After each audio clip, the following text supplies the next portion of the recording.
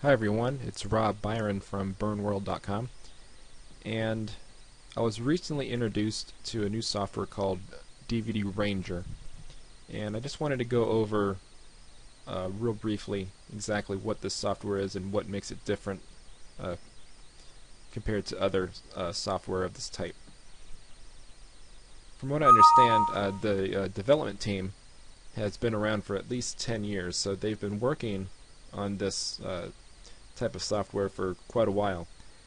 And they were originally the developers for a software called DVD Next Copy, which was the, um, if I remember correctly, it was the successor to a software called uh, DVD X Copy, if you remember that from about 10 years ago. Uh, that's the one that uh, caused the big scene with the uh, movie studios and copying DVDs and all that. It's basically what launched this entire um, line of software that, that's still around today. So DVD Ranger kind of takes it to the next uh, level.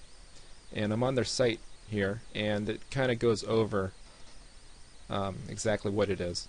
Uh, one nice thing they have about it is a free, uh, they include a DVD um, video and movie player, uh, which will play back your Blu-ray, DVD, and video files. Um, um, it's pretty nice. Um, it's lightweight, uh, similar to a VLC player.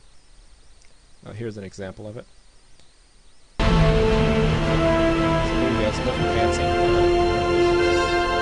There's nothing fancy to it. It just basically plays the uh, video files that you want uh, in a nice, uh, compact uh, viewing area. Okay. Um, other than that, they've just in included Blu-ray transcoding. Uh, so basically, you can rip and copy Blu-ray movies and either convert that to um, a portable format where you can put it on uh, on a DVD, say in a uh, AV format, or you can convert it to uh, your iPad uh, or other uh, tablet devices like that. Or you can simply just copy it back to another Blu-ray. So you can have a you have the Blu-ray copy function uh, rip it and convert it into other formats. And they also include a YouTube downloader, so you can download your YouTube videos and, and convert those to other formats as well. And pretty much all the other standard uh, DVD copying and converting functions that, that you would expect. So jumping into the software. Uh, what you get is uh, you can load your, your source, either a DVD or Blu-ray, or a video file. You start with that, and then you select what you want to convert it to.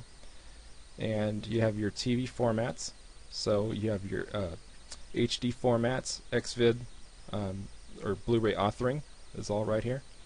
Or just choose a uh, mobile or portable device. Um, pretty much any device that you have is is going to be supported here. Alright, so you just choose that, and from that, you just hit the convert button.